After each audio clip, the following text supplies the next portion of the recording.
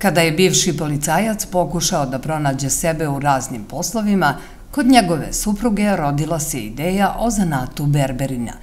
Ideju je trebalo pretvoriti u delo. Vremenom je počelo da mi se sviđa, lepo se zarađuje, hvala Bogu, krenuli smo, postali smo bum u gradu preko noći jer sasvim smo drugačiji.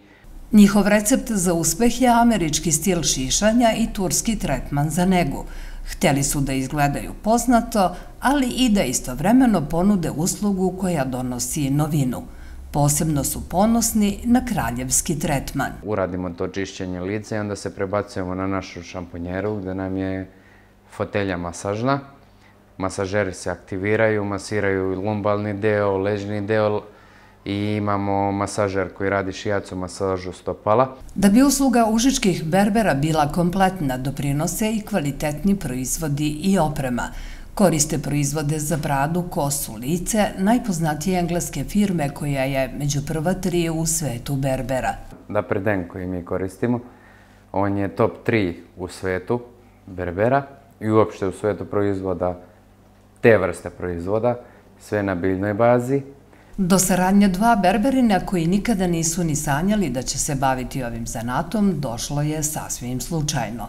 Usledila je i obuka kod berbera Sarajeva, gde su radeći u njihovoj berbernici stekli osnove zanata i potrebno iskustvo.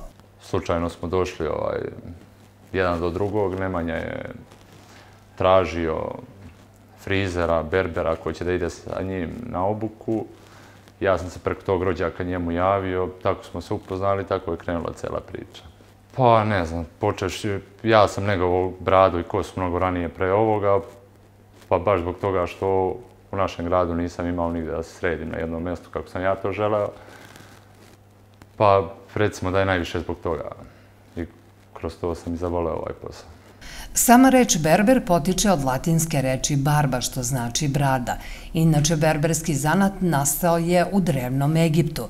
Berberi su u stvari bili sveštenici koji su šišanjem i brijanjem terali zle duhove iz tela, a u staroj Grčkoj su berberi bili izuzetno poštovane zanatlije koji su svakodnevno sređivali muške frizure.